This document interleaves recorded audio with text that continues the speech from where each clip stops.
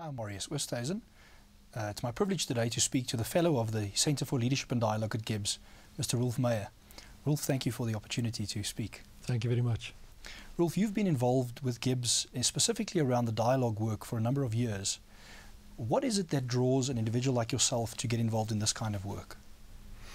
I guess my own involvement in the subject of dialogue for many years while we were busy with the dialogue about South Africa and the future of the country, particularly that uh, dialogue that led to the negotiations and the settlement of South Africa, brought me closer to the subject, you know, and um, I guess today I'm one of the biggest proponents of the subject of dialogue, particularly to resolve conflict. I mean, that is the message that South Africa has for the rest of the world where there's conflict.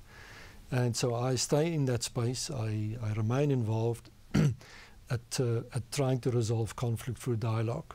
And um, I'm traveling abroad quite often, specifically to share that message from South Africa and the experience that we've had in South Africa with other countries that are still struggling to find their own way forward. Roelf, you obviously have deep experience in dealing with conflict through the negotiation process that you were a key player in at the time of the transition in South Africa.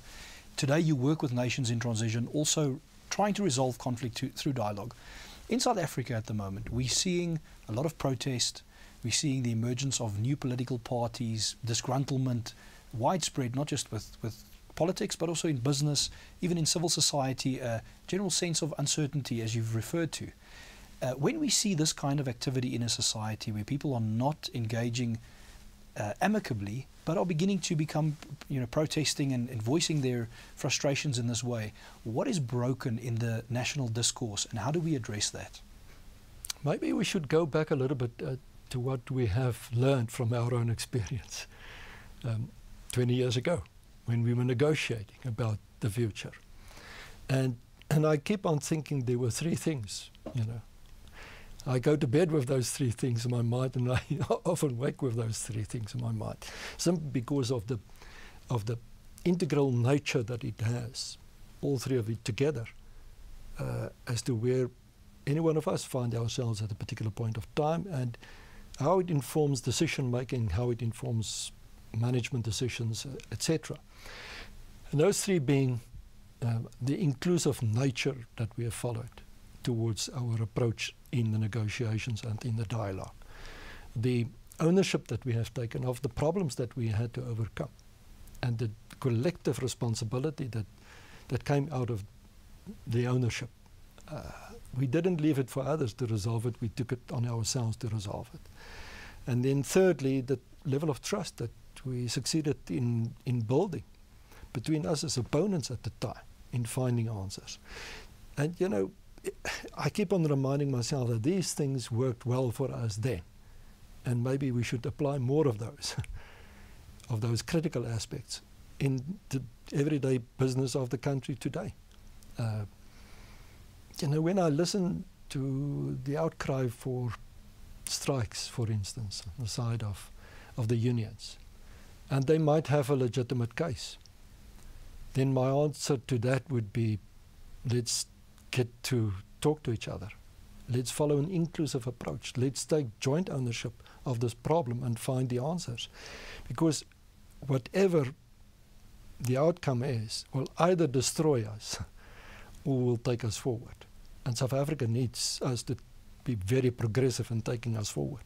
Progressive in the sense of economic growth, but sharing that growth as well. And, and I think there's too little debate about that at the moment the question that we have to ask ourselves is the economic model that we are finding um, our, our plans on. Is it the correct one? Are there not better ones to look at? And, and I think this can only be achieved through, through dialogue and a more inclusive approach. The future of South Africa as a nation.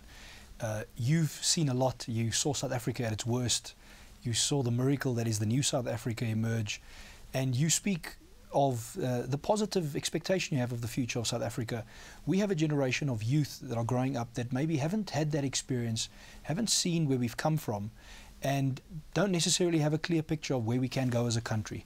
What is your hope for that generation? What do you see for South Africa over the next few years? Um, the reason why I am hopeful about the future, optimistic about the future, is exactly what we're talking about, and that's the youth, the future gen- generation, the generation that is al- already now in the making. We must remember that people who were born in 1994 and thereafter are now entering their career stage or starting to enter it. They might be students still in some cases, but many of them are already starting to enter their career stage. They don't live under the paradigm of the past any longer. They have, in fact, very little knowledge of that paradigm of the past. Paradigm of the past was one of superiority versus inferiority. The paradigm that this generation lives under and was brought up under is one of equality, of we as South Africans are individuals that are all equal. That is the guarantee that we have in our constitution. So it's a new frame of mind. Uh, and, and and my message to, to this generation would be don't bother yourself about the history. Look at the future. Look at what you want from the future and work towards that. And, and to use unionist terms, bargain for that collectively with your compatriots, your age group, your generation. You know, I'm a regular on the Gautrain. and I do it partly because it's for me a fascinating experience. To sit on the train during peak hours is just fascinating. Or let me say, rather, stand on the train because it's so packed. And just observe, look at the faces, see the people there. It's new generation people. It's people that have one thing in common, and that is to get to their destination. And it's almost that mindset that I want to, to, to include in my hopeful message for the future, and that is look at the destination we're going to. Roelf, on that excellent note, thank you for your time. Thank you.